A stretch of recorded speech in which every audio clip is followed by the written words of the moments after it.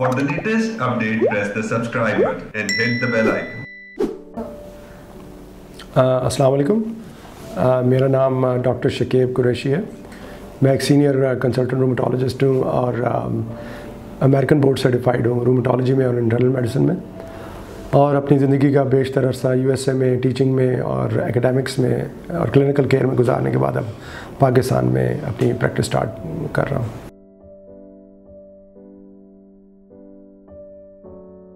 से मैं डिस्कस करना चाहता हूँ, उसका नाम है ऑस्टियो आर्थराइटिस ऑस्टियो आर्थराइटिस एक जोड़ों का दर्द है जो कि इंतहाई कॉमन है। इस वजह से कि एक ख़ास स्टेज ऑफ़ लाइफ में ऑलमोस्ट हम सभी इसका शिकार होंगे।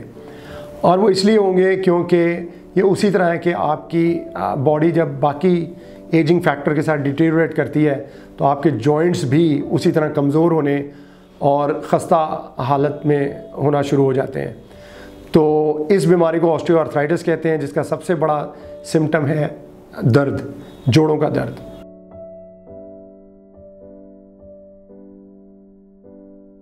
अब मैं आपकी तवज्जो चाहूँगा इसके सिम्टम्स की तरफ़। सिम्टम्स जोड़ों के दर्द के सबसे जो अहम है, वो तो दर्द है। यानी कि कॉमन जो ऑस्टियोआर्थराइटिस होते हैं, यानी कि सबसे उन जॉइंट्स को अफेक्ट करते हैं, जिनमें नी जॉइंट यानी कि घुटनों का दर्द हिप जॉइंट जिसमें कूले की हड्डी का दर्द लंबर स्पाइन यानी कि रीढ़ की हड्डी का लोअर बैक का दर्द, या सर्विकल स्पाइन डिज़ीज़ जिसे नेक का दर्द कहते हैं, जिसमें नेक के पट्टों का दर्द। उसके अलावा ऑस्टियोआर्थराइटिस हाथों को भी इफ़ेक्ट कर सकता है, जिसमें हाथों की उंगलियों में आपके हम ये मिडल फिंग ये मिडल का जॉइंट और डिस्टल जॉइंट ये दोनों जिसे हम टेक्निकल मेडिकल टर्म्स में पीआईपी और डीआईपी जॉइंट कहते हैं। वो सूज भी जाते हैं उनमें दर्द भी होता है ईंठन भी होती है।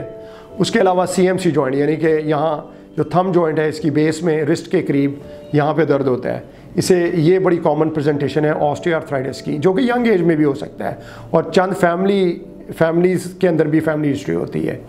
आ, इसके अलावा शोल्डर में भी ये प्रेजेंट कर सकता है। और आ, ये कॉमन जगह हैं जहाँ के आपको ऑस्टियोआर्थराइटिस अफेक्ट कर सकता है।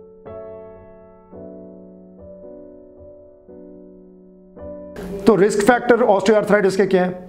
आ, सबसे बड़ा रिस्क फैक्टर तो ऑब्वियसली मैंने आपको बताया था एजिंग है. नंबर टू है ओबिसिटी यानी कि मोटापा. मोटापे का ऑस्टियोआर्थराइटिस घुटनों के और हिप जॉइंट से तो डायरेक्टली ताल्लुक़ है. और नेक एंड बैक से भी ताल्लुक़ है. इसके अलावा चंद ऐसे आपके प्रोफेशनल हैजर्ड्स हो सकते हैं. जिस तरह की अगर आप सारा दिन बैठ के कंप्यूटर पे काम कर रहे हैं और आपकी अर्गोनॉमिक्स यानी कि आपकी वर्क प्लेस पे वो आपकी, जिस पे आप बैठे हुए हैं, वो इस तरह इक्विप्ड नहीं है प्रॉपरली कि आप सारा दिन काम कर सकें तो आपको डेफिनेटली नेक और बैक बैक का प्रॉब्लम आ सकता है। यानी कि अगर आपकी कंप्यूटर स्क्रीन आपकी आँखों के बिल्कुल सामने नहीं है और आपकी गर्दन को आपको नीचे झुकाना पड़ रहा है या आपको हाइपर एक्सटेंड करना पड़ रहा है तो डेफिनेटली आपको सारा दिन स्ट्रेन पड़ रहा है नेक पे जो कि अफेक्ट करेगा आपके जॉइंट्स को। इसी तरह अगर आप आ, सारा दिन बैठ के काम कर रहे हैं और आपकी जो कुर्सी है वो आपको पीछे से सपोर्ट नहीं कर रही जिसे हम लंबर सपोर्ट कहते हैं तो वो अर्गोनॉमिकली इस तरह इक्विप नहीं है कि आपकी बैक को सपोर्ट कर सके और डेफिनेटली आपकी बैक का दर्द हो सकता है। इसी तरह चंद ऐसे प्रोफेशन हैं जिस तरह कि आप फैक्ट्री में काम कर रहे हैं और सारा दिन झुक के काम कर रहे हैं आ, या बहुत ज़्यादा झुकना पड़ रहा है मजदूरी है आप इस तरह की करेंगे बार बार आपको ज़मीन से चीज़ें उठानी पड़ रही हैं झुक के तो डेफिनेटली आपकी बैक और नेक को अफेक्ट कर सकता है। आ, तो ये चंद आपके बड़े इंपॉर्टेंट रिस्क फैक्टर्स हैं।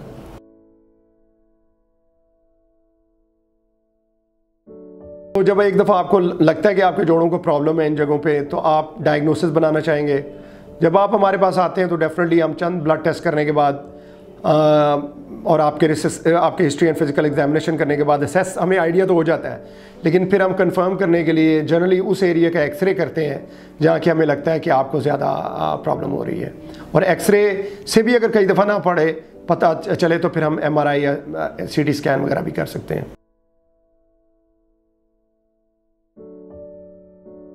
इलाज। अब ऑस्टियोआर्थराइटिस का हमें पता लग गया है तो इसका इलाज बड़ा अहम है। इलाज के अंदर सबसे इंपॉर्टेंट बात है पहले तो लाइफस्टाइल मॉडिफिकेशन यानी कि हम आपको ऐसी चीज़ें बताएँगे जिससे जिसमें सबसे अहम बात यह है कि आप अपने वज़न को कैसे एक प्रॉपर हेल्दी तरीके से कम कर सकें। उसमें फिर हम आपको पूरा एक डाइटरी प्लान बना के दे, देते हैं जिसमें हम आपके आपके लाइफस्टाइल के मुताबिक आपको डाइटरी प्लान बनाते हैं ताकि आप उसको लॉन्ग टर्म यूज़ कर सकें ना कि सिर्फ़ शॉर्ट टर्म और वज़न को बड़े तरीके से हेल्दी तरीके से हम आपको कम करना सिखाते हैं। नंबर दो अगर आपके घुटनों का प्रॉब्लम है तो हम आपको चंद ऐसे दवाइयाँ तजवीज़ कर सकते हैं जिससे आपके दर्द कम हो सके। फ़िज़िकल थेरेपी प्रोग्राम जिसमें नी स्ट्रेंथनिंग एक्सरसाइज हैं, वो बताते हैं।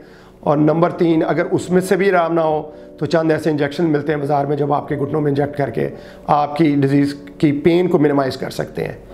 हाँ अब अगर आपको हिप का प्रॉब्लम है तो डेफिनेटली उसमें डायरेक्ट इंजेक्शन लगाना मुश्किल होता है, लेकिन बाकी सारा हम आपको बता सकते हैं ट्रीटमेंट उसके अलावा अगर नी और हिप बिल्कुल आराम नहीं आ रहा ओल्ड एज है, आप कुछ और कर नहीं पा रहे तो फिर इनके सर्ज हम आपको सर्जिकल रेफरल भी दे सकते हैं, यानी कि एक सर्जन की तरफ़ रेफ़र कर सकते हैं, ताकि वो आपके घुटनों को या हिप को रिप्लेस कर सके। अब नेक और बैक का प्रॉब्लम आ जाए उसके लिए हम आपको एक कॉम्प्रिहेंसिव प्लान बना के देते हैं, जिसमें फ़िज़िकल थेरेपी भी शामिल है, जिसमें पेन किलर्स भी शामिल हैं, जिसमें मसल रिलैक्सेंट्स भी शामिल हैं। तो हम चाहते हैं कि आपको maximally non operative treatment non surgical treatment की तरफ़ लेके जाएँ, ताकि आपका नेक और बैक और प्रॉपर तरीके से पेन कम कर सकें और उन सारे रिस्क को मिनिमाइज भी कर सकें, जो कि इन चीज़ों को प्रोड्यूस कर रहे थे इन द फ़र्स्ट प्लेस यानी कि हम आपको ऑर्गेनॉमिकली करेक्ट चीज़ें भी तजवीज़ कर सकें वर्क प्लेस के मतलब एडवाइस भी दे सकें और ताकि आपके नेक और बैक का प्रॉब्लम दूर हो जाए। और इसके अलावा हाथों के लिए अगर आर्थराइटिस है, उसमें हम आपको इंजेक्शन भी दे सकते हैं, चंद क्रीमें भी तजवीज़ कर सकते हैं और दवाइयाँ भी तजवीज़ कर सकते हैं। और अगर आपको लगता है कि आपको ऑस्टे आर्थराइटिस है तो आप हमसे रबता करें मरम के थ्रू ताकि हम आपका प्रॉपर हिस्ट्री फ़िज़िकल एग्जामिनेशन और ट्रीटमेंट कर सकें।